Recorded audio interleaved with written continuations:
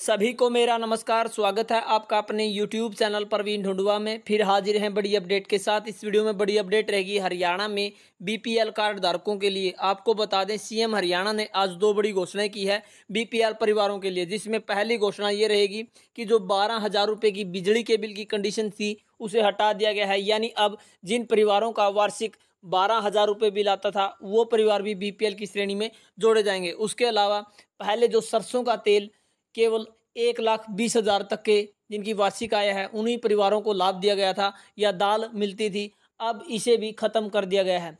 अब जो तेल है, सभी बीपीएल कार्ड धारकों को मिलने वाले हैं।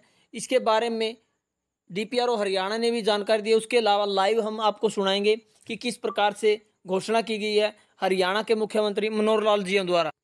तो जैसा कि आप स्क्रीन पर देख पा रहे हैं डीपी ट्विटर हैंडल पर डाला है डीपीआर हरियाणा ने। मुख्यमंत्री श्री मनोहर लाल ने घोषणा की कि बीपीएल कार्ड धारकों के लिए बिजली बिल की स्लैब को खत्म किया जाएगा। पहले एक लाख बीस हज़ार तक की वार्षिक आय वाले परिवारों को दाल व तेल सरकार द्वारा मुहैया करवाए जाते थे। अगले महीने से एक लाख अस्सी हज़ार की वार्षिक आय वाले परिवारों को भी यह लाभ दिया जाएगा। तो यहाँ पर बिल्कुल साफ़ साफ़ लिख दिया गया है कि जो बारह हज़ार बिजली के बिल की कंडीशन थी उसे खत्म कर दिया। वह जो सरसों का तेल व दाल सरकार द्वारा मुहैया करवाई गई थी अब उन परिवारों को भी मिलेगी जिनकी वार्षिक आय एक लाख अस्सी हज़ार तक है। तो बड़ी अपडेट है अब आपको सुना देते हैं। लाइव सीएम ने जो घोषणा की है उसके मतलब इनकम के ऊपर कंडीशन लगाई थी कि जिसका बिजली का बिल बारह हज़ार रुपए पहले नौ हज़ार था बारह कर दिया था बारह हज़ार से ऊपर होगा उसको एक अस्सी के स्लैब में उससे ऊपर के स्लैब में मानेंगे।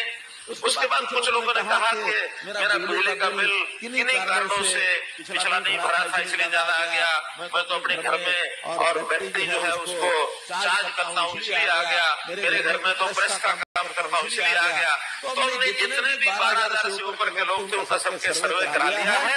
एक्चुअल सर्वे के आधार पर ही उसको बीपीएल माना जाएगा बिजली के बिल की कंडीशन ये बिल को खत्म कर रहे हैं हमें खजाना की ओर से भी मिलता है प्रदेश की ओर से भी देते हैं। लेकिन साथ में कभी दाल कभी तेल ये चीज़ें प्रदेश की ओर से दिया करते थे। राशन कार्डों की संख्या एक बीस के बाद एक अस्सी हो गई उनको बीपीएल मान लिया। लेकिन तेल उन्हीं को मिलता था दो लीटर जिनका इनकम पुराने समय के हिसाब से जो एक लाख या एक लाख बीस हज़ार था उन्हीं को मिलता था। एक बीस से एक अस्सी वालों को नहीं मिलता था इस अगले महीने से अब ये तेल भी एक अस्सी तक के जितने कार्ड उन सबको मिला करेगा उसके अंदर भी घोषणा ही आज हमने थी।